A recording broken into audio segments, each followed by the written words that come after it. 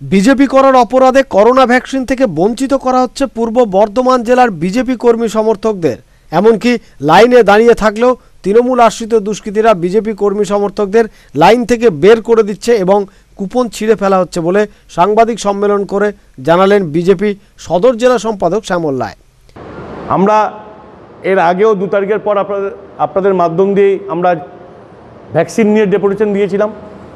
Vaccine কোন পরিবারকে দেওয়া হবে, কোন নেতা কটা কুপন রেখে দেবে, তার ঠিক হচ্ছে তৃণমূল কংগ্রেসের পার্টি অফিস থেকে। সরকারি সুবিধা তৃণমূল পার্টি অফিস থেকে বন্টন হচ্ছে। আমরা মানবিকতা খাতিরে বলছি, আমরা মানবিকতা খাতিরে আপনাদের মাধ্যম দিয়ে প্রশাসনকে বলছি, ডিএম সাহেবকে বলছি এসপি সাহেবকে বলছি যে আপনারা ক্যাম্পেনিং করুন, দেখুন যে আপনারা জল, যন্ত্র, উদাহরণ দেখবেন যে কুপনগুলো তৃণমূল কংগ্রেসের নেতাদের হাত থেকে বিলি হচ্ছে। এটা বড় দুর্নীতি। এমনও হচ্ছে কুপনগুলো নেওয়ার জন্য পয়সা লেনদেন হচ্ছে। তাই আপনাদের মাধ্যম দিয়ে আমরা প্রশাসনকে সচেতন করতে চাইছি যে ভ্যাকসিন নিয়ে বিমাতৃসুলভ ব্যবহার যেন না করা হয়।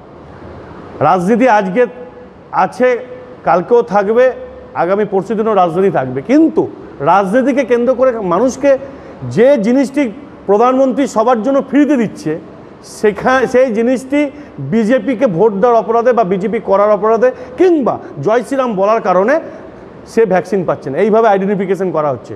আমরা ধিক্কার জানাই, প্রশাসনকে আমরা অনুরোধ করব যে একাধিক সাংবাদিক বৈঠকে আমাদের নেতৃত্ব এই কথা বলেছে এবং এসপি সাহেবকে, ডিএম সাহেবকে ডেপুটেশন দিয়েছে। এরপরে আমরা ভ্যাকসিনের জন্য যদি রাস্তায় নামি আর যদি কোনো ঘটনা ঘটে থাকে, তার পুরো দায় থাকবে প্রশাসন এবং এখানকার স্থানীয় যে তৃণমূল কংগ্রেস যারা নেতা আছে, যারা ওই কুপনগুলো নিয়ে বিক্রি করছে, কুপনগুলো নিয়ে নিজের পছন্দ মতো ব্যক্তিদেরকে বন্টন করছে। রথতলা কাঞ্চননগরে আমাদের বিজেপির ছেলেরা একটা ভ্যাকসিন পাচ্ছে না। দাঁড়িয়ে আছে লাইনে, তাকে কুপনটা কেড়ে নিয়ে তাকে মেরে থাপড় মেরে বার করে দেওয়া হচ্ছে। যেখানে শুধুমাত্র হেরে যাওয়ার কারণে।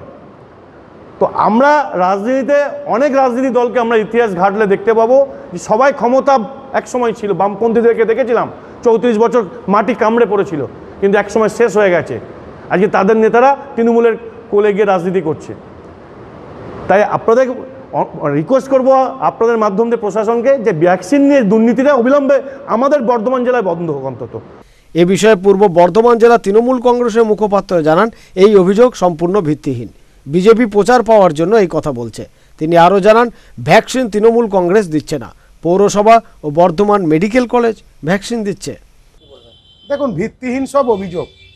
তার কারণ আপনারা জানেন, ভ্যাকসিনটা তৃণমূল কংগ্রেস দিচ্ছে না, ভ্যাকসিনটা দিচ্ছে পৌরসভা, ভ্যাকসিনটা বর্ধমান মেডিকেল কলেজে দেয়া হচ্ছে এবং সেখানে অনলাইনে রেজিস্ট্রেশন করা হচ্ছে, রেজিস্ট্রেশন করে ভ্যাকসিন দেয়া হচ্ছে।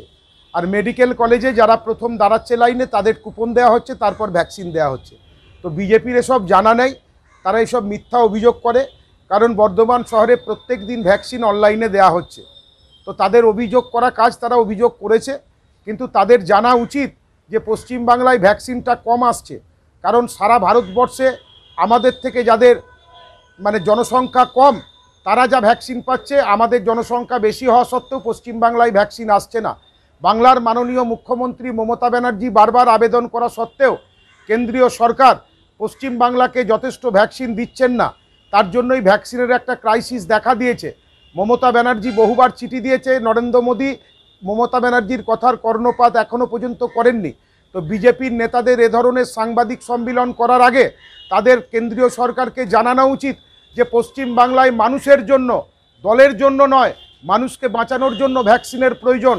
আপনারা আগে পশ্চিম বাংলায় ভ্যাকসিন দিন তারা বাংলার মানুষ, সেই নেতারা বলুন, বাংলার স্বার্থে তারা বলুক ভ্যাকসিন পশ্চিম বাংলায় পাঠান। তো তার সত্ত্বেও যে ভ্যাকসিন আনছে, সেই ভ্যাকসিন মানুষকে দেয়া হচ্ছে অনলাইন এবং বর্ধমান মেডিকেল কলেজ থেকে।